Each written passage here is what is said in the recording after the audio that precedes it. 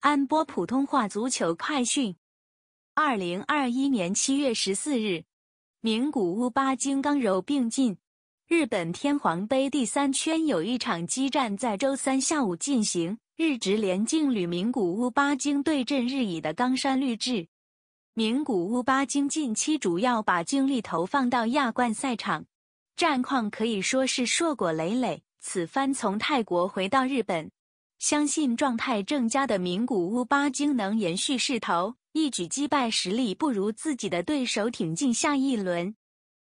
名古屋巴金近段时间专注于亚冠赛场，这趟曼谷之旅可谓满载而归，六场分组赛取得五胜一和的佳绩。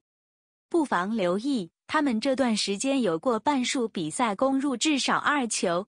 C 马迪奥斯。山崎零五等人建立显著功绩，脚风相当畅顺。更喜人的是，防线表现持续稳定，合共仅失二球，攻防两端发挥均衡。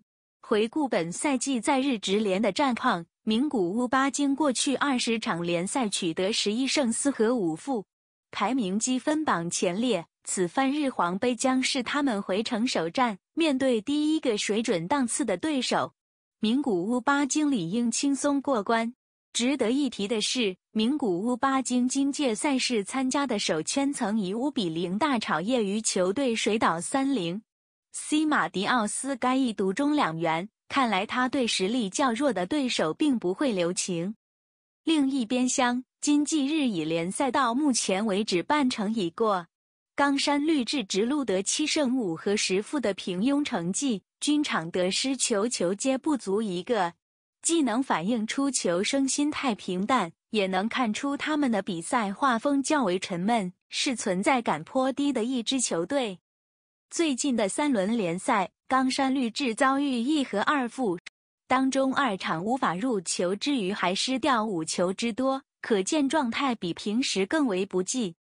回顾冈山绿志今年的日皇杯战绩，二零一九年第三圈遇到川崎前锋加时汉复出局，二零一八年第二圈也是加时，但输给同属日乙的丁田泽维亚，二零一七年则是第三圈输给更低组别联赛的长野帕塞罗。